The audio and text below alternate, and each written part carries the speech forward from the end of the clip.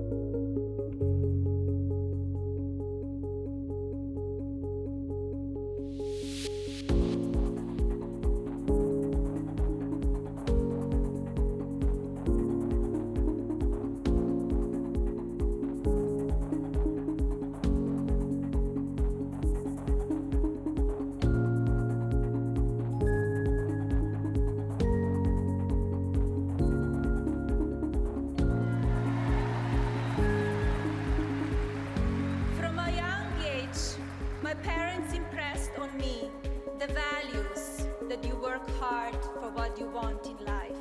What happened at this podium last night was a fiasco. Few people blaming Melania, but rather her speechwriting team.